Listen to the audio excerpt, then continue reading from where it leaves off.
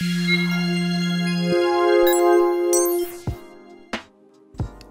and welcome to our channel. In this tutorial you will learn how to connect Instagram to Facebook. Linking your Instagram and Facebook pages will let you share a post to Facebook from the same screen where you add a caption on Instagram. You can also have the same story posted on Facebook too. This will eliminate having to share the same content twice.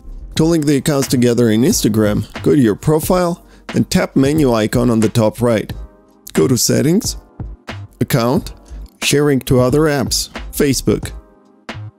Log in with your credentials and you're done. Now all you need to do is enable that Facebook toggle on the captions page when you post a picture. Alternatively, to add an Instagram account to your Facebook page, follow these steps. Log into your Facebook account and on the sidebar under Explore, click Pages. Click the name of the page you want to work with. Click Settings, Instagram, click Connect Account to log into your Instagram. In the pop-up Instagram modal, enter your username and password and click Login.